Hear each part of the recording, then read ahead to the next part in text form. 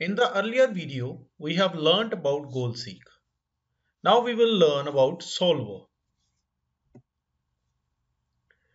What is a solver? Solver is designed to do more complex what-if calculations. Solver allow to work with variables and constraints to find an optimal solution. Let us understand that what is the difference between solver and goal-seek. Solver can be used in place of goal-seek, but goal-seek cannot be used in place of solver. We will learn about this concept with the help of an example. Goal-seek can change only one variable, but solver can change multiple variables. This is the basic difference between goal-seek and solver. Solver can be used to find a maximum or minimum value as well as specific value. But goal seek can be used to only find specific values. Let us understand solver with the help of an example. I am taking the same example which we used for the goal seek. Here we have simple interest which is calculated based upon principal and rate of interest and time. Now we will use solver to reach to a specific value.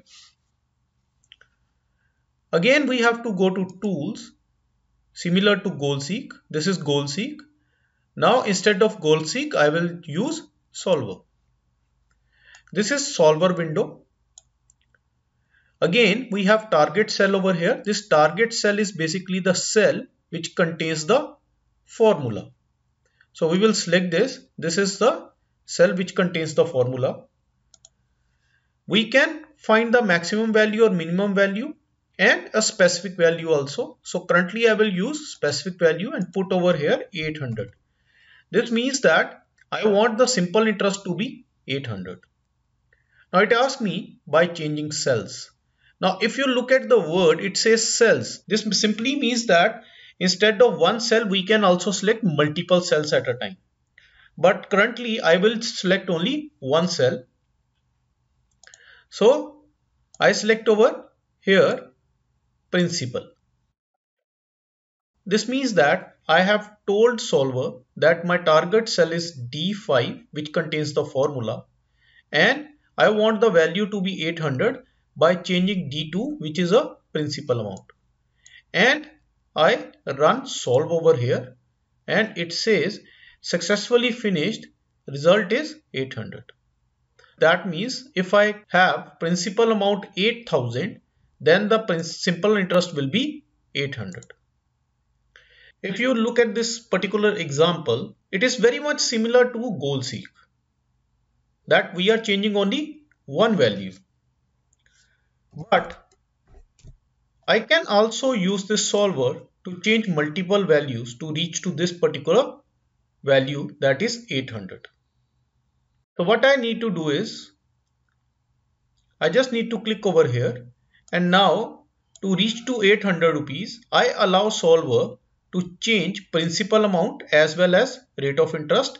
I select both these values and you see over here it says D2 colon D3 that means both these cells are selected. But when I click on solve it will give you a wrong result. It says result 0. If I click on keep, you see this means that we have not got the correct solution. The problem is by default solver in OpenOffice is made to solve only linear equations. So I just use this particular algorithm now and click OK and now when I click solve it will solve my problem now when I clicked on this I have got my result and I say keep result. So this is the value which I got. This should be the principal amount and this is, should be the rate of interest if I wanted the simple interest to be 800 now I will explain you that how to get this option. You open your browser and then type NLP solver extension and from the first link and then solver for non-linear programming and download and install this extension. So this way you can use solver to change more than one variable at a time. In solver we can also use the limiting conditions. For example, if I don't want to lend more than 10,000 rupees of principal amount, I can tell my solver that the value of this cell should be less than 10,000. It give me this result. Again, the rate of interest is quite high and the principal amount to lend is quite low. So what I can do, I can again go to solver and say that this principal amount can be more than 7000. This simply means that the principal amount should be less than equal to 10,000 and greater than equal to 7000 and I click on solver and now this is the result. I can keep the result. Now again I wanted another condition that this rate of interest should be a integer value not a floating value. And I hit OK. And it says this is what you need to do. That principal amount should be 8000 and rate of interest should be 5% then your simple interest will become 800 this is how we can use solver to solve our problems. I take another example. Imagine a student have four subjects and and already in exams of term 1 term 2 term 3 he has scored 84 74 and 88 now this term 4 is still to be conducted. And if you wanted to have distinction he should have overall 80% over here.